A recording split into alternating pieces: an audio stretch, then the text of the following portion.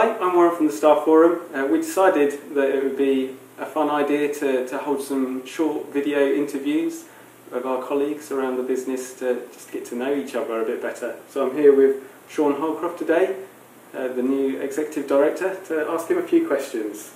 So, good uh, afternoon, Sean. How are you? Yeah, not too bad at all, thanks, Warren. Excellent.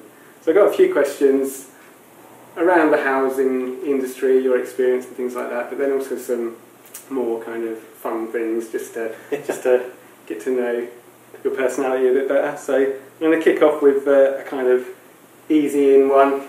So how did you get into housing?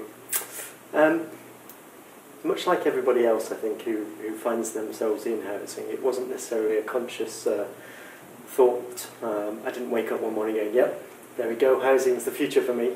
Um, so I grew up in council housing um, up in Stoke-on-Trent um, and I was the first person in my family to go to university and I think coming out of university I knew I wanted to do something that helped people um, and I was very much aware of the difference in the way my life had gone to the way that some of my friends from school's lives had gone. Um, and um, I saw an opportunity in um, a newspaper, I think it was, um, for a graduate trainee programme that a number of housing associations around London and the South East were running. So um, threw my CV in and um, got through to the, um, the assessment day um, and absolutely loved it. Really, you know, really, really enjoyed meeting with the organisations, finding out about what they did, opened up a whole new world that I didn't really know very much about. Um, and I've never really looked back. I absolutely love what we do. Um, I'm very, very lucky to have a career that um, is never is never much of a trial or a tribulation, um, and it's never too difficult getting up on a Monday morning as a result. So, uh, so yeah, that's how I got into the uh, into the sector. Okay, so what was your first role then? Um, so my first role was as a graduate trainee um, Yeah. for um, a housing association called Southern Housing Group, Okay. um, who were one of the original philanthropical um, housing associations, Right. previously known as Samuel Lewis Trust. Um, so I was there for about, in total I was there for about seven years. Right, right. Um, started out as a graduate trainee, um, worked as a neighbourhood manager there, Mm. um, managed their equivalent of our lean team um, okay. for a period of time, which was a great role. Regional operations manager, head of lettings, Mm. and some other bits and bobs Yeah. thrown in amongst that as well. Wow.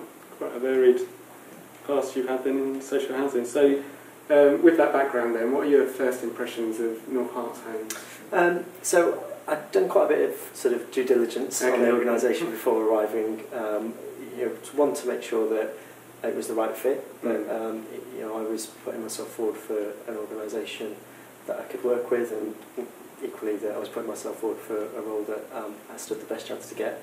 Um, and I think the things I've I've been um, really surprised by coming in is you know, I was aware of the amount of change that had happened in the organisation in the last 12 Mm. months and I expected to come into an organisation where um, people were, um, I guess, reeling from that change a little bit Mm. um, and still getting to grips with it. And there is some of that, but actually the degree of positivity about the future, the sort of the can-do attitude, the sense that people want to do a great job for the Mm. customer has really surprised me, Mm. um, really positively surprised me.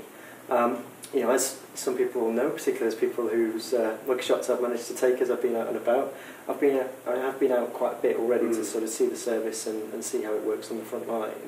And I, you know, I was out with some guys in our temporary accommodation team yesterday, and you know, the, the, the degree to which they care about the, Mm. the service they provide and the amount of uh, or the range of service that they offer to the customer, it really is incredible. And you know, although I've only been here for three weeks, I have to say I'm really proud of some of what we do. That's good.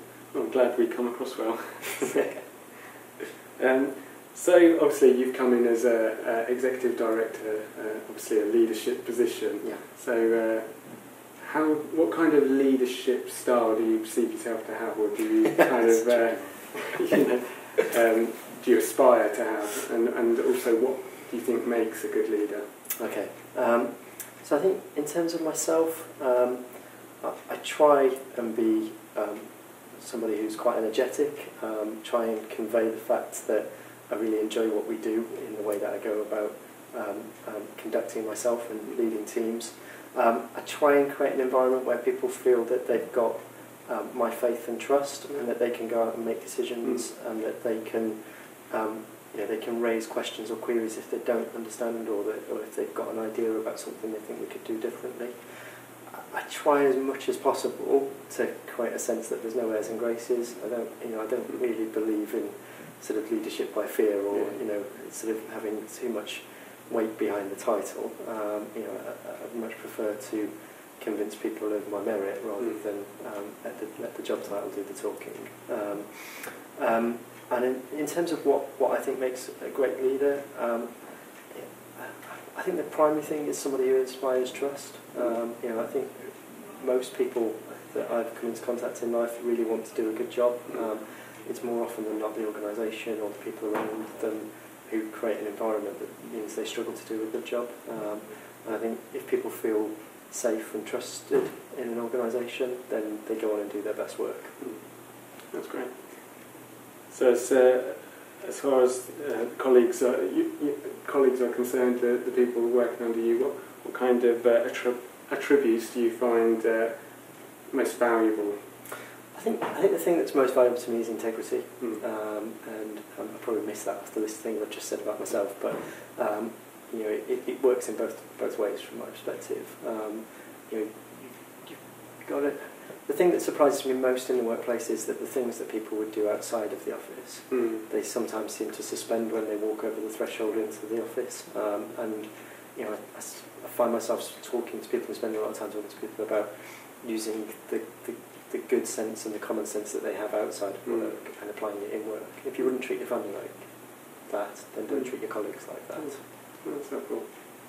Okay, let's go on to some a bit more kind of oh, this is where it gets tricky. yeah, a bit more uh, about you as, as a person. Uh, uh, so one of the questions I have is, if you were running a marathon, what charity would you uh, most likely want to raise some money for? Well, the, the likelihood of me ever running a marathon with my knees is limited. But um, yeah, if I if I was, um, so um, my uh, the male side of my family has a bit of an issue around um, heart disease, and um, so um, my dad, um, both my parents were quite young, um, and my dad had a heart attack when he was 51, um, and um, fortunately the uh, the team who looked after him at um, North Staffs Hospital um, were um, were incredible and saved his life. So I think any charitable activity that I do or would do would uh, would go to raising money for them. Fantastic. Okay, another question now. Going back to your childhood, what was your favourite childhood activity? I was trying. I was thinking, if you could be a child again to do something that you couldn't really as an adult, what would that what would that thing be that you would go back? Mm. I think uh, early childhood, sort of early childhood, so pre-teens. Um, I think um, I think it, it it would have to be football. I was football mad as a as a kid and, and loved it, and hence why I've got such bad knees these days. Um, so um, you know, endless endless games of football, breaking the neighbour's greenhouse, those all those joyous parts of being a kid, uh, and managing just about to get away with it. Um, I, I think as a teenager, it would have to be Championship Manager. I was Okay. completely addicted to Championship Manager for most of my teenage years. So there will be groups of our staff who can completely empathise with that illness, um, and there'll be other people going, "What the heck is he talking about?" Fantastic. Actually, that kind of links into another question I have in a little while. So, but now that you're an adult, what is your favourite leisure activity or kind of pastime? How do you switch off after work? Um, so, um, as, as few people will know, because I talk about it non-stop, um, I've got a two-year-old daughter, Margot. Um, she's two today, actually. Yeah, right. Oh, Um, and- birthday, Margaret. Yeah. and um, yeah, she's she's my pastime outside of work. Um, and um, you know, I've, I've I've been pretty career focused um, for, um, for for most of my adult life, and um, I think Margot coming along was a really nice balance, Mm. um, and yeah, just just um, yeah, made made a bit more sense of what's important in the world. So yeah, spending as much time as I can with with, with her when uh, when I'm not here is uh, is my main priority. I think most uh, parents with small children will kind of agree with that. You know, you don't have a. It's not that you don't want to have time to do something else. Actually quite enjoy spending time with, with your children Absolutely. at that age, anyway. Okay. Uh, another question we've got is what CD is in your car right now, provided your car has a CD player? that's a good question. So, um, the CD that's in my CD player currently is uh, CBeebies the album.